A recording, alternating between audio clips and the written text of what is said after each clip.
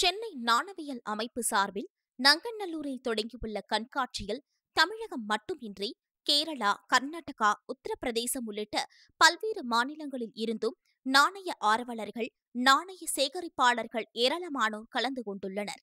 கண்காட்சியில் ஐம்பது அரங்குகள் அமைக்கப்பட்டு நாணயங்கள் மற்றும் ரூபாய் விற்பனை செய்யப்படுகிறது. பல்வேறு நாடுகளின் நாணயங்கள் ரூபாய் நோட்டுகள் மற்றும் அஞ்சல் தலைகள் விற்பனைக்கு வைக்கப்பட்டுள்ளதுடன் பொதுமக்கள் பார்வைக்கும் காட்சிப்படுத்தப்பட்டுள்ளன. மூன்று நாட்கள் நடைபெறும் கண்காட்சியை தமிழ் வளர்ச்சித்துறை அமைச்சர் திரு. தங்கம் தென்னரசு தொடங்கி வைத்தார்.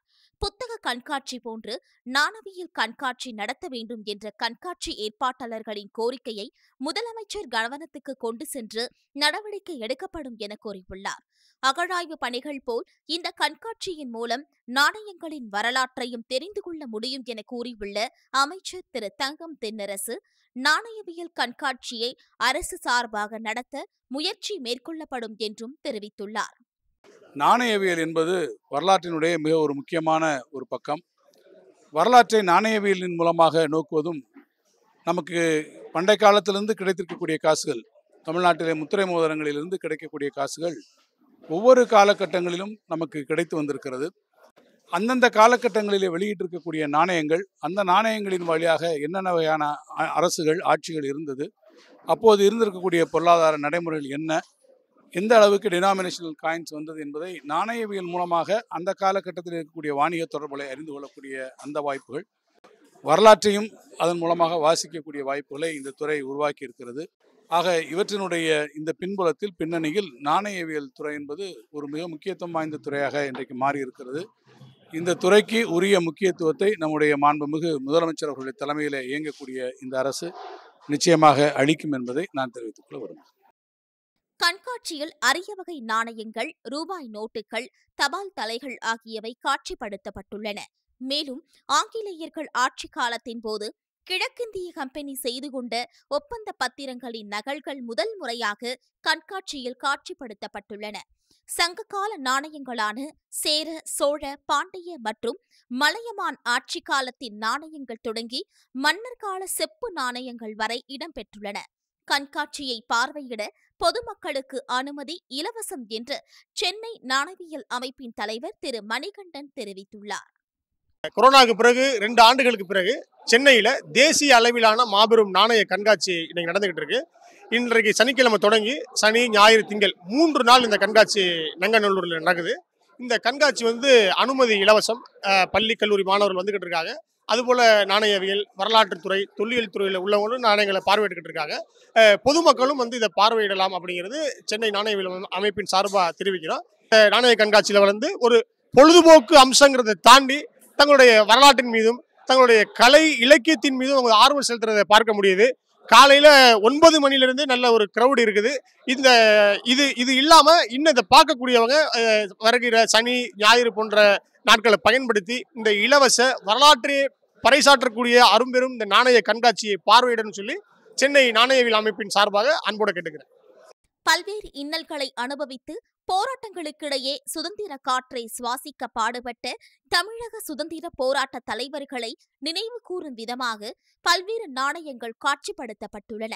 தமிழ் எழுத்து பொறிக்கப்பட்ட நாணயங்கள் பாளையக்காரர்கள் வெளியிட்ட விருப்பாட்சி பழனி கதரி போன்ற தமிழ் நாணயங்கள் சிவகங்கை ராமநாதபுரம் பகுதிகளை ஆட்சி செய்த பாளையக்காரர்கள் வெளியிட்ட சசிவர்ணன் சேதுபதி தளவாய் சேதுபதி போன்ற தமிழ் எழுத்துக்கள் பொறிக்கப்பட்ட நாணயங்களும் இடம்பெற்றுள்ளன நிறைய நம்ம பழைய பழங்காலத்து நாணயங்கள் சோழ நாணயங்கள் பாண்டிய நாணயங்கள் பல்லவ நாணயங்கள் எல்லாமே வந்து இதில் கண்காட்சி வச்சுருக்காங்க எல்லாரும்.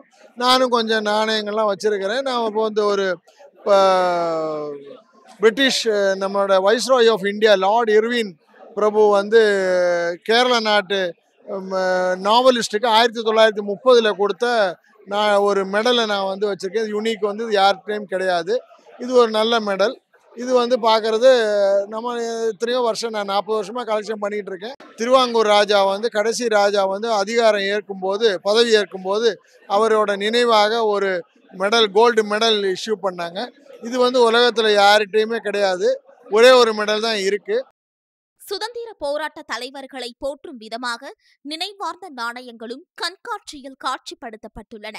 மேலும் மகாத்மா காந்தியின் உருவம் பொறிக்கப்பட்ட ஐந்து பத்து நூறு நூற்று ஐம்பது ரூபாய் நாணயங்கள் முன்னாள் பிரதமர் ஜவஹர்லால் நேருவின் உருவம் பொறிக்கப்பட்ட நூற்று இருபத்து ஐந்து ரூபாய் நாணயங்கள் பெருந்தலைவர் காமராசரின் உருவம் பொறிக்கப்பட்ட ஐந்து மற்றும் நூறு ரூபாய் நாணயங்களும் இடம்பெற்றுள்ளது.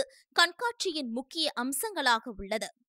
இதில் வந்து பார்த்தீங்கன்னா ஃபஸ்ட்டு புதுக்கோட்டை டாக்குமெண்ட்டு அதுக்கப்புறம் மெட்ராஸ் டாக்குமெண்ட்டு தான் இருந்தேன். அதுக்கப்புறம் பார்த்தாக்கா எம்போஸ் ஸ்டாம்ப்ஸ்னு சொல்லிட்டு வந்துச்சு. அந்த ஸ்டாம்ப் பேப்பர் என்னன்னு பார்த்தீங்கன்னாக்கா குயின் விக்டோரியா குயின் டைமில் போட்டது.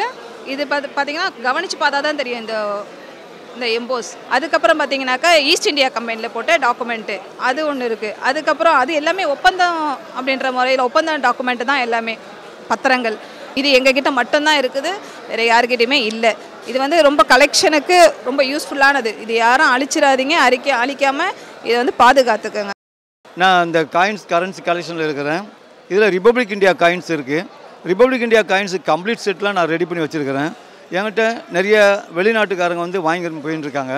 உதாரணமாக பார்த்தோம்னா அமெரிக்காலேருந்து வாங்குறாங்க ஆஸ்திரேலியாலேருந்து வாங்குறாங்க துபாயிலேருந்து வராங்க ஜெர்மன்லேருந்து வராங்க. எல்லாருக்கும் நான் கொடுத்துட்டுருக்கேன் என்கிட்ட இந்த ஆல்பம் நான் நானே ரெடி பண்ணி நானே கொடுக்குறதுனால என்கிட்ட விரும்பி வாங்குறாங்க. என்கிட்ட கம்ப்ளீட் செட்டுலாம் இருக்குது நான் வந்து ரெகுலர் பண்ணுறேன் கிடைக்காத நாணயங்கள் நம்மகிட்ட கிடைக்கும். மகாத்மா காந்தி ஜவஹர்லால் நேரு போன்ற தலைவர்களின் சிறப்பு தபால் தலைகளும் கண்காட்சியில் இடம்பெற்றுள்ளன.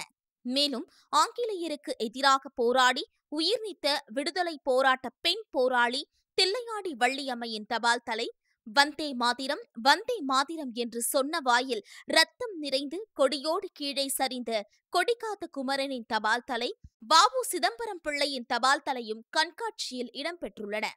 இப்போ தபால் தலையே வந்து யூஸ் பண்ணுறது குறைஞ்சப்புறம் தபால் தலை உலக அளவில் வந்து கலெக்ஷன் அதிகமாக்கணும் சேகரிப்பு அதிகமாக்கணும் இன்னும் தபால் தலை நிறுவனங்களுக்கும் காசு சேரணும் அப்படின்னு சொல்லிட்டு எக்ஸாட்டிக் கலெக்ஷன் ஒன்று புதுசாக ஆரம்பிச்சிருக்காங்க. இந்த எக்ஸாட்டிக் எப்படின்னா அரிய வகையான ஸ்டாம்ப்ஸ் இப்போ ஸ்டாம்பே வந்து வித்தியாச வித்தியாசமான மெட்டீரியல் வுட்டில் மரத்தில் பண்ண ஸ்டாம்ப்பு அப்புறம் ஸ்டீலில் பண்ண ஸ்டாம்ப்பு ஸ்டாம்ப்லேயே வந்து த்ரீ டைமென்ஷனல் ஸ்டாம்ப் இருக்கு. அப்புறம் ஆக்மெண்டட் ரியாலிட்டி அப்படின்னு சொல்லிட்டு ஸ்டாம்ப்லேருந்து நம்ம ஃபோனில் பார்த்தோம்னா அதில் வந்து ஒரு வீடியோ ப்ளே ஆகும். ஏன்னா ஸ்டாம்ப் ஒரு இன்ச்சுக்கு ஒரு இன்ச்சு சின்னதாக இருக்கும். அதுக்குள்ளே அவங்க சொல்ல இருக்கக்கூடிய விஷயங்கள் கம்மியாக தான் இருக்கும்.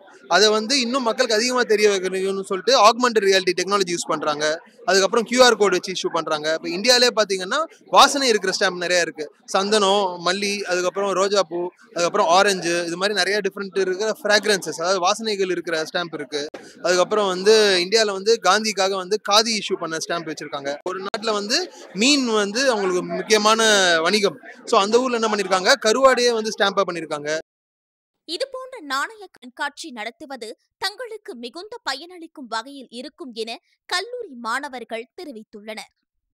நான் வந்து ஒரு university archaeology MA student and இது என் ஃபீல்டை பொறுத்த அளவுக்கு இது ரொம்ப ரொம்ப நிறைய விஷயங்களை நான் இங்கே தெரிஞ்சுக்கலாம்.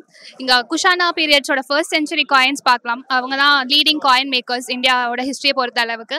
அவங்களோட பஞ்ச் மார்க் காயின்ஸை இங்கே எக்ஸிபிட் பண்ணியிருக்காங்க ப்ளஸ் விற்கிறாங்க இதெல்லாம் ஒரு ஆர்கியாலஜிஸ்டாக பார்க்கும்போது ரொம்ப நல்லா இருக்கு. ரொம்ப ரிஃப்ரெஷிங்காக இருக்குது இங்கே குவிட்ஸர்ஸில் செஞ்ச ஆப்ஜெக்ட்ஸ் இருக்குது அண்ட் கரன்சிஸ் இருக்குது ஸ்டாம்ப் ஷீட்ஸ் இருக்குது ஸ்டாம்ப்ஸ் இருக்குது இந்த மாதிரி நிறைய விஷயங்கள் இங்கே இருக்குது குஷானாஸோட காயின்ஸ் நான் வந்து இது வரைக்கும் மியூசியமில் தான் பார்த்துருக்கேன். நான் இப்போ தான் ஃபர்ஸ்ட் டைம் அதை கையில் தொட்டு பார்க்குறேன் ஆர்கியாலஜி ஸ்டூடெண்ட்டாக இருந்தாலும் எங்களுக்கு ரொம்ப ரேர் தான். இதெல்லாம் தொட்டு பார்க்கக்கூடிய பெர்மிஷன் கிடைக்கிறது. இது எனக்கு ஃபர்ஸ்ட் டைம் இந்த மாதிரி ஒரு இடத்துக்கு வருது. கவர்மெண்ட் இந்த மாதிரி இன்னும் நிறைய விஷயங்களை ஆர்கனைஸ் பண்ணணும்னு நான் நினைக்கிறேன். இது ரொம்ப நல்ல விஷயமா இருக்கு.